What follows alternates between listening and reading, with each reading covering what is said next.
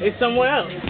Yeah. It's like fucking in the public bathroom. You know what I'm saying? It's somewhere else. Okay, I told you I take like a movie. You better watch out. You know, Um, watch out. What we doing Miami? Hey.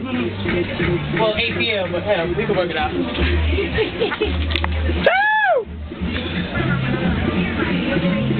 That's homework, people.